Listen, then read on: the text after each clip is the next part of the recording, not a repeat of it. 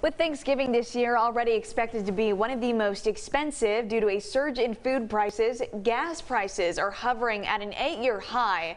Now Texans will also be paying a premium at the pump as they hit the roads this week. A release from AAA Texas said today the statewide average for a gallon of unleaded gasoline is currently $3 even. With a 5 cent drop from last week, it is still the highest average price for gas in Texas on Thanksgiving week since 2013. Around nearly 4 million Texans will be traveling further than 50 miles away for the holiday, and around 92% will be driving. Now, Texans may be complaining about the high price of fuel, but it still holds the second lowest gas price average in the country. The national average currently hovers at $3.40.